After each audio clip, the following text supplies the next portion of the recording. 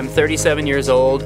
Uh, I was born in Jackson, Wyoming, and uh, grew up there skiing at first and then got into snowboarding, turned snowboarding into a profession.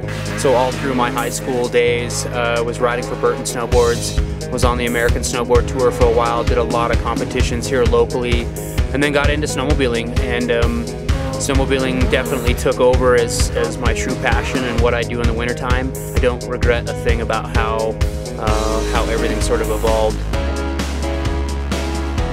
My favorite part of snowmobiling is I think every single day that I go out and ride, uh, it's just something different. Um, whether it's the snow conditions or the terrain that I'm riding in, uh, every time the environment changes, it's just like a whole new challenge in front of me. It's definitely my favorite part.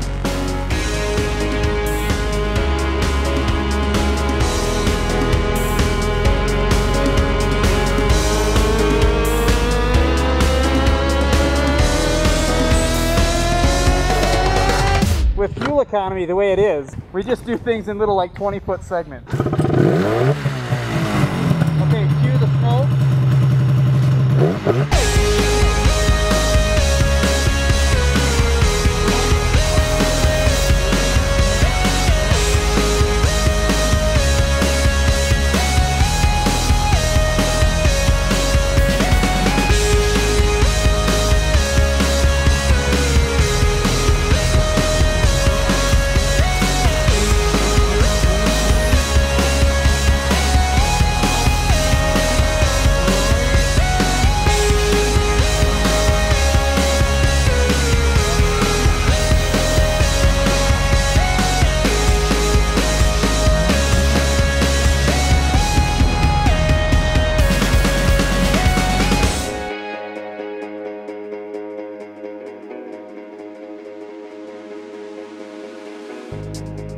This is a 2013 Polaris Pro RMK 800.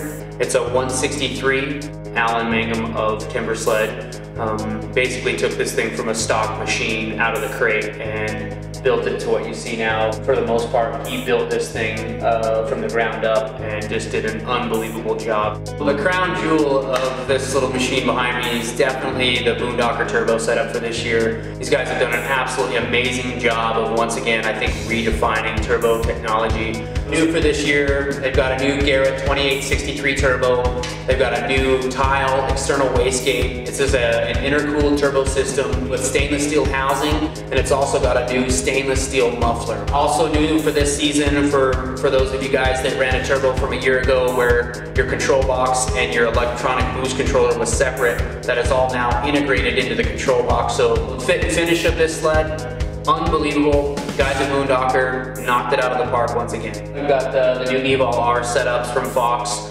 Um, we've combined that with the rear suspension, same thing with the Fox Evol Rs in the back. Uh, one thing that's super nice about the, the Mountain Tamer, the Timbersled rear suspension, is that you're able to have uh, an air shock uh, for your front rear shock, which we haven't been able to do on a stock skid yet. So um, just the tunability and the way that you can refine the suspension uh, to me and for my style of riding, uh, it's just second to none. For the front rear bumpers, I've always used Skinz. They're, they're super reliable, super durable. This really protects the front end. They've got easy hooks, uh, as well as if you are stuck, they've got just a, the way they step up a bit, you've got an easy way to get your hands in there. I've always got my low seats on there. Um, this one's sort of King Ranch looking. Really excited about going with the brown fabric that they did on there. Uh, just ties all of the stuff with the brown and tan and everything on the sled. We've also got the airframe running boards. Uh, without a doubt, in my opinion, the best aftermarket running board that you can install on your sled. New for this season, for 2013, they've got the new plastic cleats that make it so simple for you to add traction to the airframe running board wherever you think you need traction. The windshield bag um, been kind of created through Skinz and myself. What I was after was trying to come up with a little bit of storage that was right over the balance point of the machine. They've also got some really smart things like uh, your footwell vents so that you're not getting snow inside where your belt drive is. Fly Racing and I have teamed up uh, to create my own next level handlebar. Um, differences of it primarily. Um, it's got a little bit different back bend to it. Uh, the sweep is steeper so that we've got more control area for our controls so that we can cut our bars down, try to get a little bit more, uh, a little bit more narrow feel. Uh, while you're riding the snowmobile. Jordan Yankee, owner of Arctic FX, created this wrap.